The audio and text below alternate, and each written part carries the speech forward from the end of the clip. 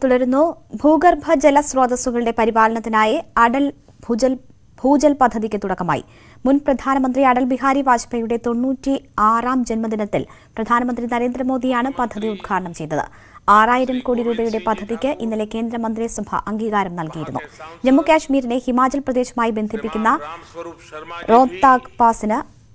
Atal tunnel എന്നും നാമകരണം ചെയ്തു വാജ്പേയിയുടെ കാലത്താണ് തുരങ്കപാതയുടെ നിർമ്മാണം ആരംഭിച്ചത് നേരത്തെ ഡൽഹിയിലെ അടൽ സമാധിയിൽ രാഷ്ട്രപതി രാംനാഥ് കോവിന്ദ് പ്രധാനമന്ത്രി നരേന്ദ്രമോദി ആഭ്യന്തരമന്ത്രി അമിത്ഷാ തുടങ്ങിയവർ ആദരാഞ്ജലി അർപ്പിച്ചു ലക്നൌവിൽ വാജ്പേയിയുടെ വെങ്കല പ്രതിമ പ്രധാനമന്ത്രി നരേന്ദ്രമോദി അനാച്ഛാദനം ചെയ്തു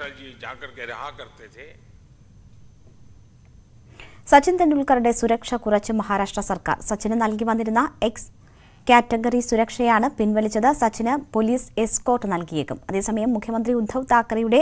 മകനും എം എൽ എയുമായ ആദിത്യ താക്കറെയുടെ വൈ കാറ്റഗറി സുരക്ഷ ഇസഡ് കാറ്റഗറിയായി ഉയർത്തി ബി ജെ പി നേതാവ് ഏക്നാഥ് ഖഡ്സയുടെ സുരക്ഷ പിൻവലിച്ചു സംസ്ഥാനം സുരക്ഷ നൽകിയിരുന്ന നാൽപ്പത്തിയഞ്ച് പ്രമുഖർക്ക് നേരെയുള്ള ഭീഷണി അവലോകനം ചെയ്ത ശേഷമായിരുന്നു നടപടി ജമ്മുകാശ്മീരിൽ കുഴിബോംബ് സ്ഫോടനത്തിൽ മലയാളി ജവാൻ കൊല്ലപ്പെട്ടു തിരുവനന്തപുരം അമ്പലമുക്ക് സ്വദേശി വി പി അക്ഷയാണ് വീരമൃത്യു വരിച്ചത് ഇരുപത്തിയഞ്ച് വയസ്സായിരുന്നു കഴിഞ്ഞ ദിവസമാണ് അക്ഷയ് സഞ്ചരിച്ചിരുന്ന ജീപ്പിന് നേരെ ആക്രമണമുണ്ടായത് മൃതദേഹത്തിന്റെ പോസ്റ്റ്മോർട്ടം നടപടികൾ പൂർത്തിയായി രാത്രി എട്ടരയോടെ മൃതദേഹം പ്രത്യേക വിമാനത്തിൽ തിരുവനന്തപുരത്തെത്തിക്കും പൊതുദർശനത്തിന് ശേഷം സൈനിക ബഹുമതികളോടെ സംസ്കരിക്കും നൂറ്റാണ്ടിലെ രണ്ടാമത്തെ വലയ സൂര്യഗ്രഹണം നാളെ